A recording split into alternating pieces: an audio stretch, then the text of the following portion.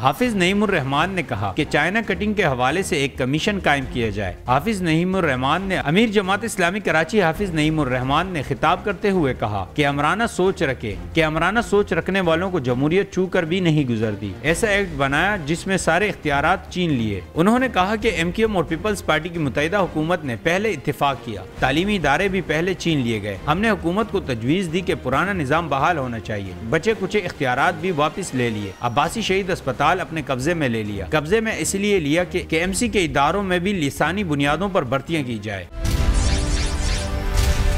बोल ब्रीफ्स की वीडियो सबसे पहले देखने के लिए बोल ब्रीफ्स के चैनल को सब्सक्राइब करें और बेल आइकन पर क्लिक करना ना भूलें।